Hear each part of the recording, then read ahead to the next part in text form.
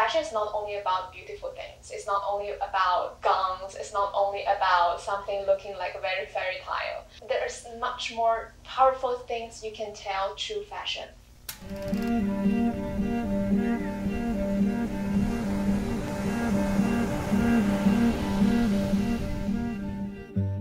My collection, I divided into four phases because the theme about my collection is about anxiety.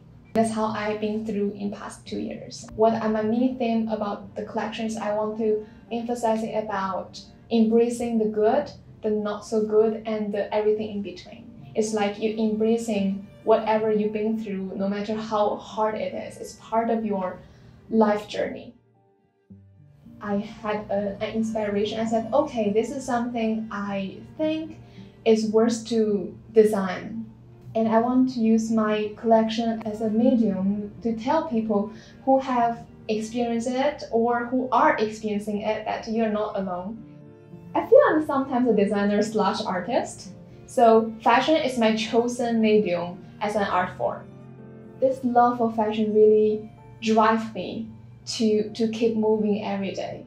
I feel this is, is also a collection result of my love for fashion and love from people around me and also a discovery of loving myself.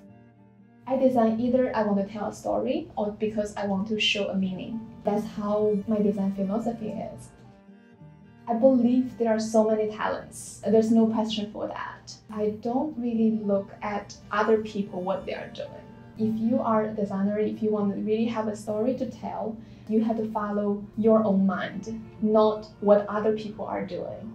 So I think it's really to follow what really you want, what is our passion, what is our path, and find something really unique in you and work with your uniqueness. So instead of looking outward, we should look inward.